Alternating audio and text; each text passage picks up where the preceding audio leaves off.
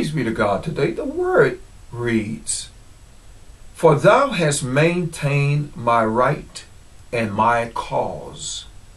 Thou sittest in the throne judging right.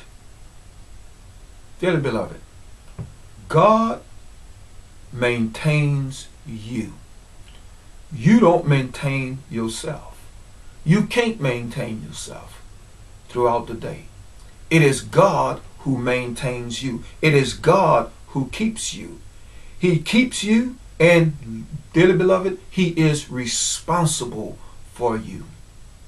If only we as believers can come to a point of recognizing this, that it is not us who keep ourselves, but rather it is God who keeps us. And I want you to know that when you begin to recognize that, then you stop worrying so much.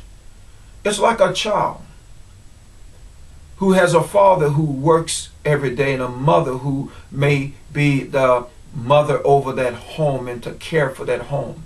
But yet that child sits around and worry constantly where his next meal will come from.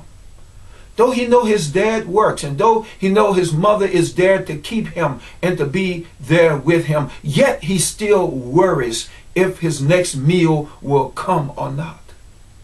That is Beloved, that is worry in vain. And if you were the mother or the father of that child, you would say to that child, Why do you worry so much? You know your father will come back home with all the provisions that we need to sustain us. You know he has kept a roof over our head. You know that he has put clothes on your back. And that child say to you, Mama, I just worry because I'm a worrier. And you will say to that child, child, you need not worry. I am here for you. Always and constantly.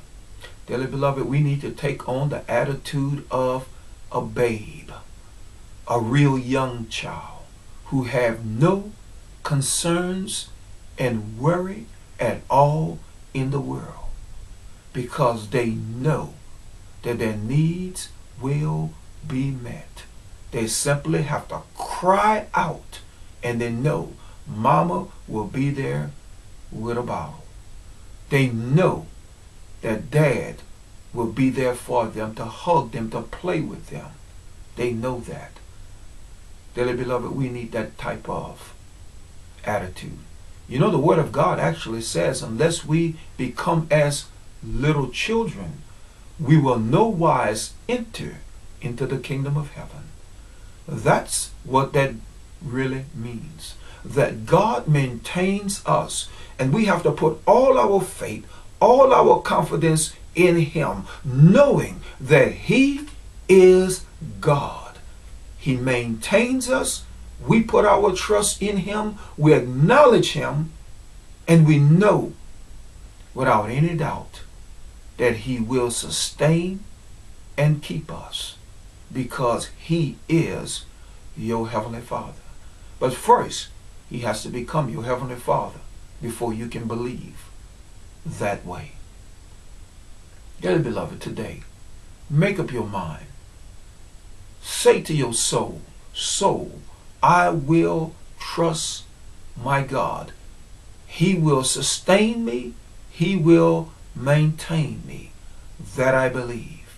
In Jesus' name. God bless you today.